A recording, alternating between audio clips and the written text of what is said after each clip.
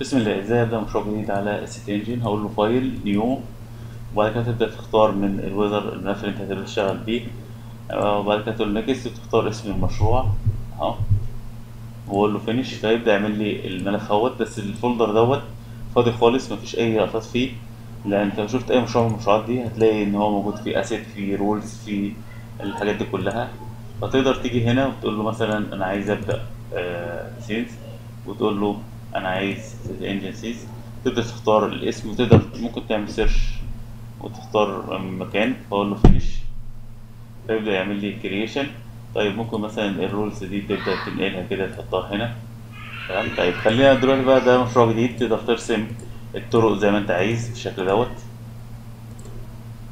وبعد كده تبدأ تعمل select من خلال shift وتقول له مثلا تقول أنا عايز أبدأ أعمل assign rules تبدأ تختار ال rules بتاعتك. وبعد كده تقول له generate. يبدأ ينشئهم لي دي ال rules اللي كانت موجودة. اية الأبراج ديت. تقدر طبعا تاخد rules من أي مشروع من المشروعات. تمام؟ تقدر تسحب وتحط هنا في ال rules لو أنت عايز تنقل حاجة من مشروع لمشروع صور فيديو maps أي حاجة تقدر تسحب. ده ال standard ده ال building مثلا اهيت تروح حاططها في ال rules. تقدر تعمل select وتقول له ال rules أنا عايز اغيرها مثلا لديت لديت زي ما أنت عايز. بالشكل دوت.